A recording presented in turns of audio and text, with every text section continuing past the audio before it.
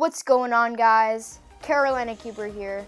And the Guoguan YueXiao has recently been named the best cube on the market. Does it live up to the hype?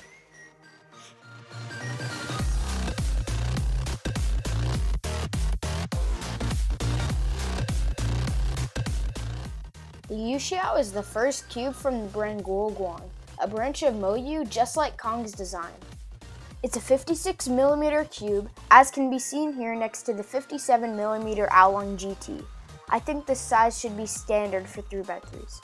This cube has a very similar mechanism with the Cong's design Mei Ying. The edges are nearly identical, except that the Mei Ying has more tracks. The corners of these two cubes are also very similar. The only difference is that the YueXiao has a track where the Mei Ying doesn't, and has a much smaller hole, giving it a smoother, stabler feel. Some people have said that this cube has an octopus core, but this isn't true.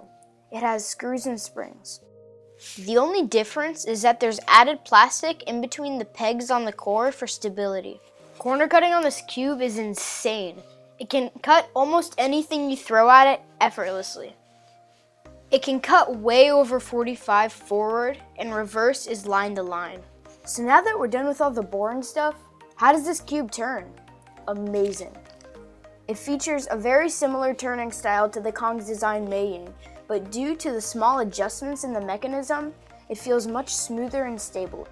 So all in all, this cube is amazing. It's my main, and I could recommend it to anybody. But do I think it's the best cube on the market? No. Cubes are so based on feel these days that I don't feel like it's safe to make any cube the top recommendation for everybody.